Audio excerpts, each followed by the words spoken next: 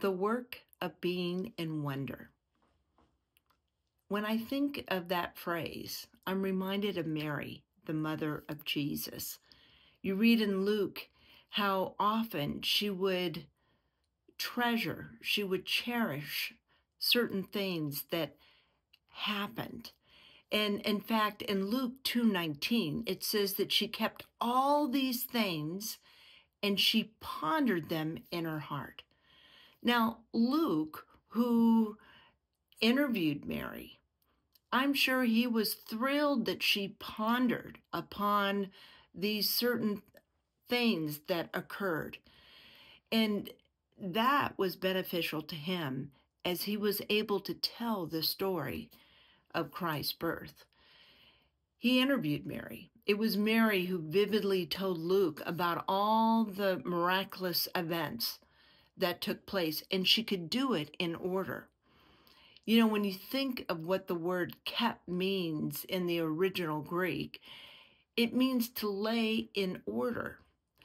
And so here she carefully and meticulously could chronologize this story, this experience that occurred in her life, because not only had she pondered it, but she treasured it in her heart.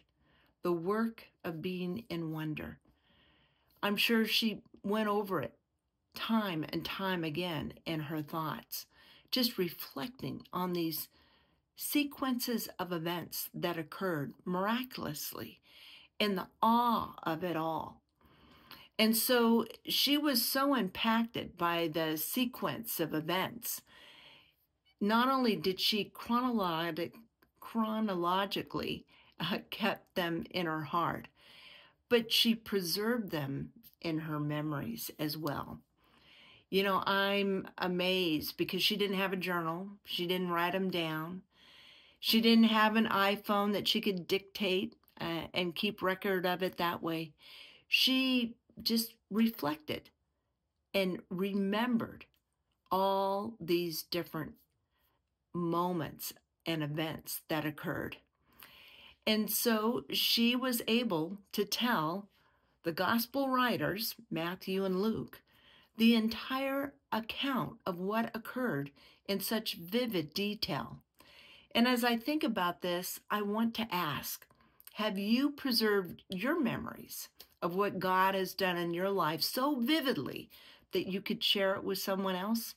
I remember visiting my mom and we were celebrating her birthday and we were just sitting there in the afternoon and I started asking her different questions how she met my dad and how did you know what was it like those first couple years they were married and I enjoyed the fact that she could go through these stories that were very vivid to her and, and, and very much from her heart.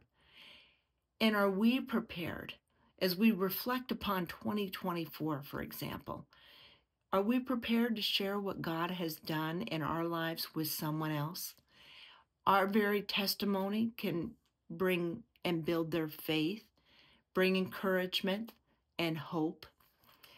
So, in our life, it is never too late to pause and take stock of, of things and, and ponder them deeply, preserving the memory like Mary did.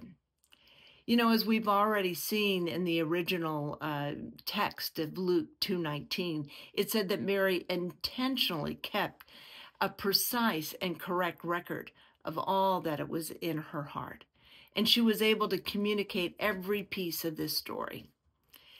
So, with you and I, we are a part of a story. We have a story to share, and we need to be in the work of, of the wonder of life because people are intrigued. Not when we're complaining or, or discouraged, but they're intrigued when we have had that first intimate encounter with God and we're able to share about his faithfulness firsthand with a wonderment of, of just the miraculous work that has been uh, revealed and, and brought about because we had a thankful heart. We had an expectant heart. Mary, I mean, she had an angel come to her with a promise that, that seemed impossible, but she believed and said, Let it be unto me as, as you have spoken. You and I, as we are in the wonder of a God so great, so magnificent, and as He declares the promises in His Word, and with the help of the Holy Spirit, those promises become our promise.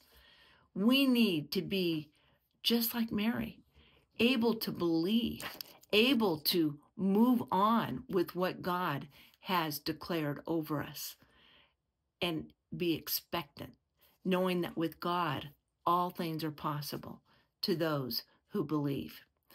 So we should never forget all the marvelous things that we have witnessed, um, what God has done in our life. We need to keep a, keep a clear memory. Maybe we need to write it down in our journals.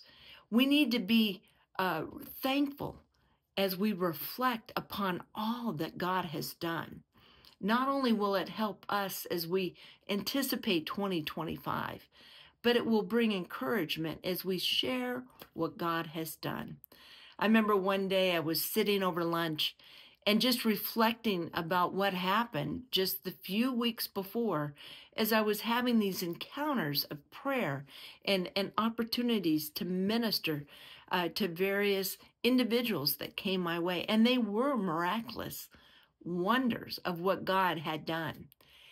And that stirred up the faith of those that were sitting around the table with me. And one by one asked, Would you pray with me?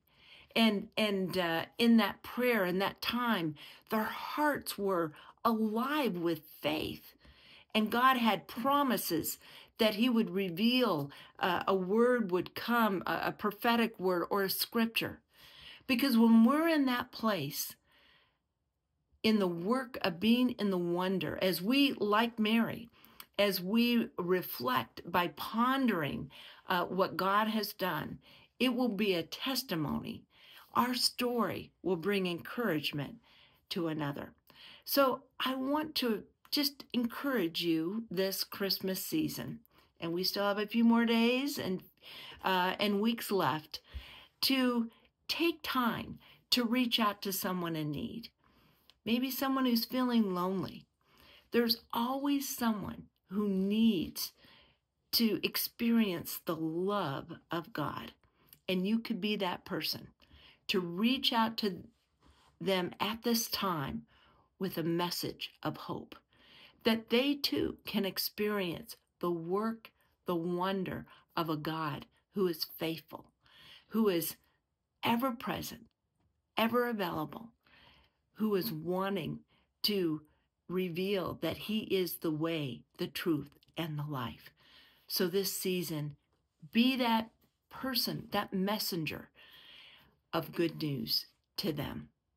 Have a good night, everyone. And let me declare this blessing upon you tonight. Heavenly Father, as we reflect upon the magnificence of your promises, the faithfulness of you, our heavenly God, who is ever watching over his word to perform it and in ensuring that it will not return void.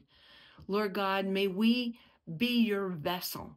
May we be your light to the world around us. May we bring that message of hope, just as the angels did during the time, sharing that good news to Mary, to the shepherds, Father, to Joseph, Lord, may we bring a message of hope and encouragement and wonder to the world around us so that they too will experience the miracle working power of a God who has declared with him all things are possible. Lord God, I release these blessings in the lives of my friends tonight. In Jesus' name we pray. Amen. Good night, everyone.